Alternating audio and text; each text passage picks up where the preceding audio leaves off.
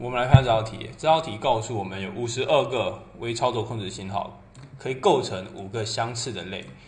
外可判定的外部条件有两个，微指令长度二十八位，要我们去设计这个微指令。这边告诉我们是水平型，我们知道水平型的微指令有好多，有字段直接编指，有这个字段间接编指，还有这个直接编码，有三种。那么该采用哪一种呢？很明显，直接编指、直接编码肯定是不可以的，因为我们这边有五十二个控制信号，但是微指令的长度却只有二十八位。你如果想要采用这个直接编码的方式，你最起码微指令的长度要大于五十二位。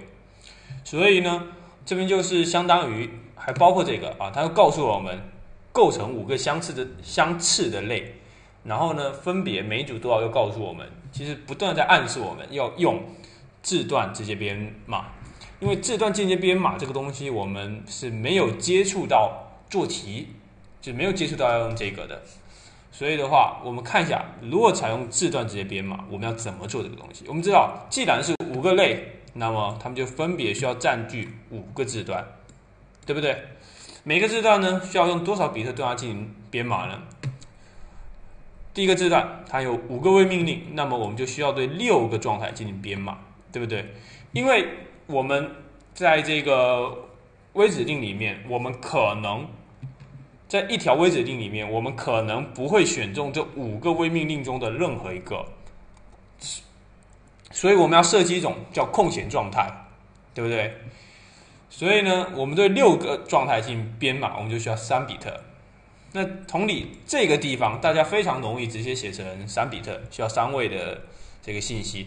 但其实，正如刚才那个讲的，既然它有八个微命令，那么加上一种空闲状态，我们就需要九种状态。我们要对九个状态进行编码，就需要四位。同理，后面这三个我就不细讲了。然后呢，往后我们还需要这个条件测试的这个字段。那外部的条件呢是有两个。但是我们可能不选中第一个外部条件，也不选中第二个外部条件，我们两者都不选，跟前面这个道理是一样的，可能需要一种空闲的状态来表示，所以我们需要对三三种状态进行编码，需要两位。那这道题告诉我们，微指令的长度是二十八位，那扣掉前面这些二十位，还最后剩下八位可以用来干嘛呢？用来表示后续的这个。地址，因为它这边明确要求我们微指令的下地址字段直接给出后续微指令地址，所以这八位呢就可以用来对接下来的这个微指令的下一条指令进行这个编指。那么第二问问我们这个控制存储器的容量，我们知道既然你只有八位，所以你这个可寻址单元的这个数量，或者说微指令的这个数量。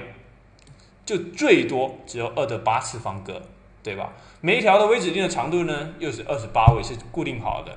这么一算，就可以算出咱们这个控制存储器的这个容量。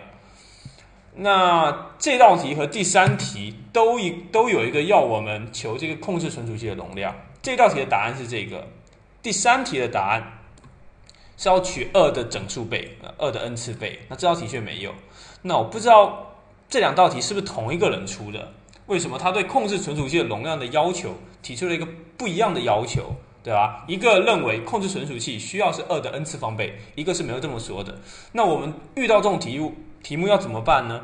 我们可以把它控制存储器所需要的真实容量写出来，然后呢，在后面补一句啊，根据我们计算的这个答案，我们可以取控制存储器的容量为多少多少，那这边再取一个二的 n 次方就可以了。这样答题老师就知道。哦，你是知道呃整个过程是怎么做的，比较不会说给你一些错误的，这个没有打分的，这道题讲解结束。